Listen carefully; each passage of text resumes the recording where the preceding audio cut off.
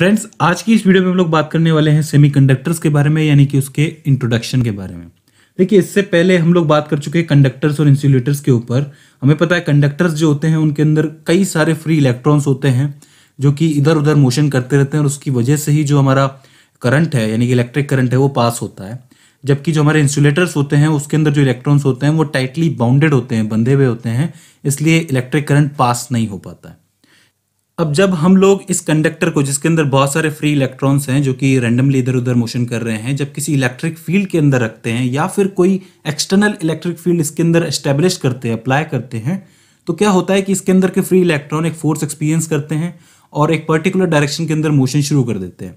जिसकी वजह से इसके अंदर ड्रिफ्ट मोशन शुरू होता है, ठीक है ड्रिफ्ट वेलोसिटी जिसको हम लोग कहते हैं, और करंट जो है वो बहने लगता है, ठीक है, और इस प्रॉपर्टी को हम लोग कंडक्टिविटी कहते हैं। अब जितने ज़्यादा अच्छी तरीके से इलेक्ट्रॉन बहेंगे कंडक्टिविटी उतनी ही ज़्यादा है। ठीक है? और एक रिलेशन भी निकल के आता है J vector is equals to में।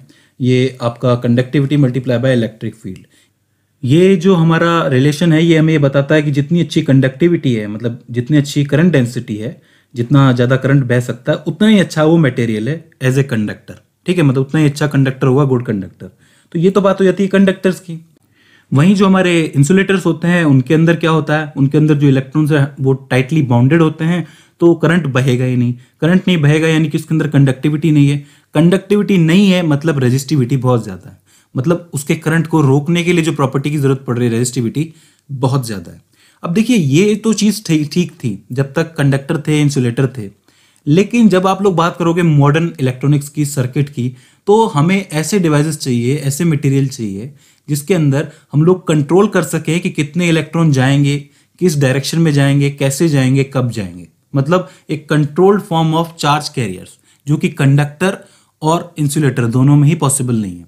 तो इसका मतलब एक ऐसा मटेरियल जिसके अंदर इलेक्ट्रॉन्स यानी कि चार्ज कैरियर्स को कंट्रोल किया जा सके और उसकी डायरेक्शन को भी कंट्रोल किया जा सके, उसे हम लोग सेमी कंडक्टर्स कहते हैं।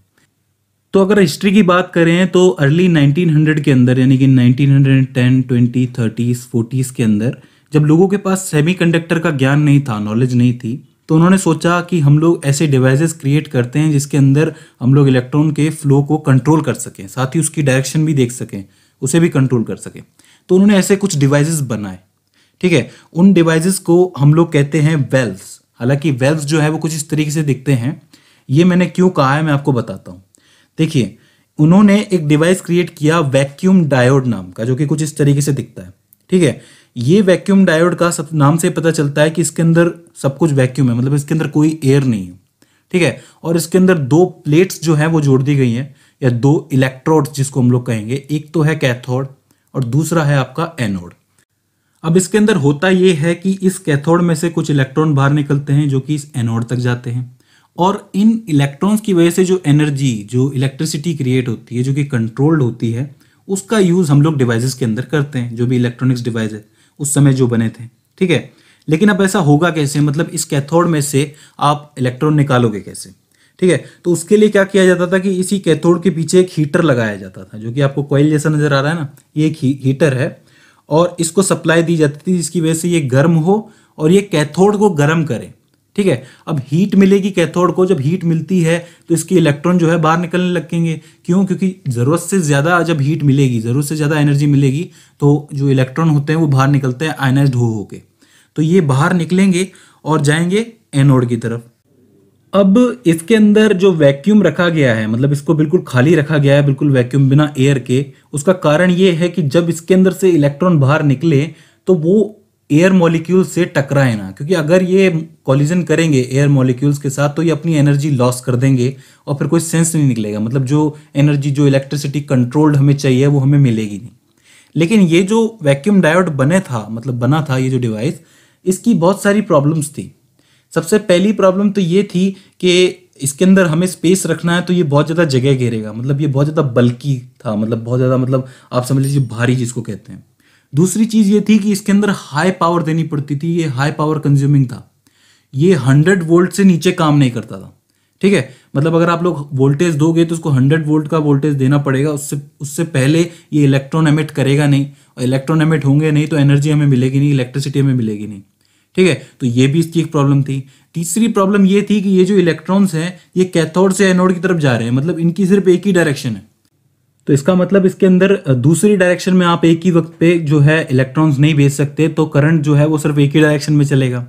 और चौथी जो इसकी डिसएडवांटेज थी, वो ये थी कि ये लिमिटेड लाइफ के थे। मतलब अगर आप इसकी रियल फ़ोटो देखोगे तो ये आपको कांच में नज़र आएगा। तो ये जो है, वो टूट भी सकता है। तो इसकी लाइफ जो थी, वो बहुत लिमिटेड थी। तो मैंने इसको वेल्व इसलिए कहा था, क्योंकि हमें पता है कि वेल्व के अंदर क्या होता है। एक ही डायरेक्शन के अंदर गैस जाती है, देख सकते हैं आप लोग। ठीक है? तो इसका मतलब इसके अंदर भी एक ही डायरेक्शन में हम करंट भेज सकते हैं। इसलिए हमने इसको वेल्व भी कहा था। तो ये इसकी डिसएडवांटेजेस थी, लेकिन उस समय इसका यूज़ किया जा रहा था कई सारे इलेक्ट्रॉनिक डिवाइस के अंदर।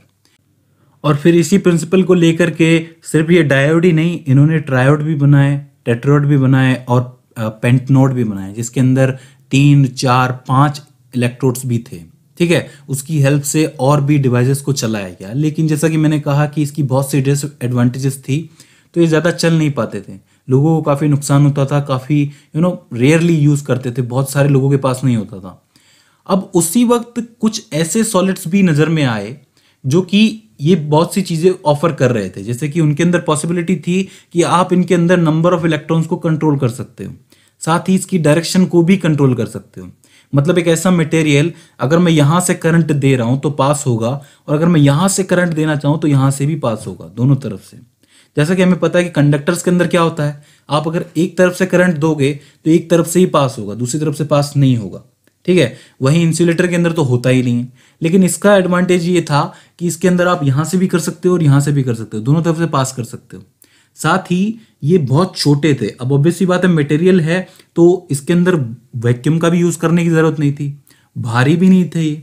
और इनकी लाइफ भी ज़्यादा थी। मतलब ये ज़्यादा समय तक चल सकते थे। तो अब ये ऑब्जर्वेशन हुई कि इसके अंदर जो इलेक्ट्रॉन्स यानी कि चार्ज कैरियर्स हैं, वो कंट्रोल्ड है।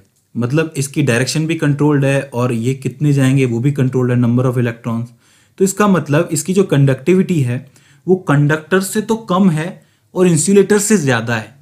ठीक है? और इसकी जो रेजिस्टिविटी है, वो कंडक्टर से ज़्यादा है, लेकिन इंसुलेटर से कम है। तो इसका मतलब ये जो है, बीच में कहीं लाया करता है।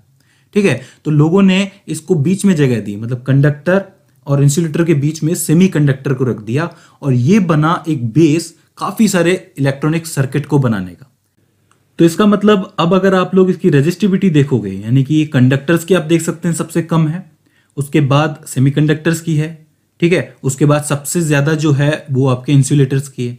वहीं जो कंडक्टिविटी है, वो आपके कंडक्टर्स की सबसे ज़्यादा है, उससे कम सेमीकंडक्टर और सबसे कम इंसुलेटर्स ठीक है ये चार्ट से आपको पता चल सकता है। तो ये जो वैल्यूज़ हैं रेजिस्टिविटी और कंडक्टिविटी ये इनको डिफाइन करती है मतलब डिफ्रेंशिएट करती है।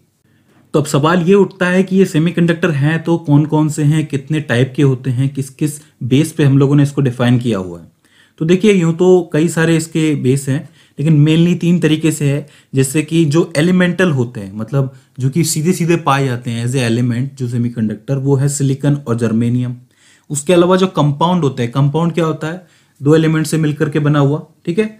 तो उसके अंदर भी इनऑर्गेनिक ऑर्गेनिक और पॉलीमर्स ठीक है? जैसे कि इनऑर्गेनिक के अंदर होते हैं कुछ ये वाले ऑर्गेनिक के अंदर होते हैं कुछ ये वाले, और जो हमारे पॉलीमर होते हैं, वो होते हैं कुछ ये वाले।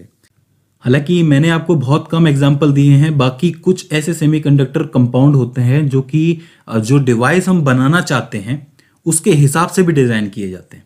ठीक है? यही तो खासियत है सेमीकंडक्टर्स की। इन लोगों को खुद बनाए भी जा सकते हैं और मॉडर्न इलेक्ट्रॉनिक्स में इनका सबसे ज़्यादा यूज़ है। अब देखिए, जो तीसरा तरीका है, वो सबसे मेन है, जिसकी स्टडी हमें इसके अंदर करनी है, और वो है एनर्जी बैंड गैप वाला। मतलब ये जो एनर्जी लेवल्स होते हैं, वो कौन से सॉलिड में कितने होते हैं, उसके हिसाब से भी हमें पता चलता है कि कौन सा मटेरियल सेमीकंडक्टर है, कौन सा कंडक्टर है, और कौन सा इंसुलेटर है। ठीक है? और उसी पर हमें इस पूरे चैप्टर में स्टडी करनी है एनर्जी बैंड को लेकर के। ठीक है? तो उसके बारे में अब हम लोग अगली वीडियो में पढ़ेंगे और साथ ही साथ हम लोग बनाएँगे एनर्जी बैंड गैप डायग्राम या फिर एनर्जी लेवल डायग्राम ठीक है? सो आई होप आपको इंट्रोडक्शन समझ में आया होगा और आप लोगों को समझ में आई होगी सेमीकंडक्टर की इंपॉर्टेंस और साथ ही कुछ प्रॉपर्टीज़ भी, ठीक है? इसके बाद भी इसके अंदर आपको कोई क्वेश्चन रहता है, कोई क्वेरी रहती है या फिर हमसे कोई गलती हो जाती है तो प्लीज़ आप हमें कमेंट सेक्शन के ज़रिए बताइए। सो फ्रेंड्स आज की इस वीडियो के अंदर बस इतना ही। सी इन द नेक्स्ट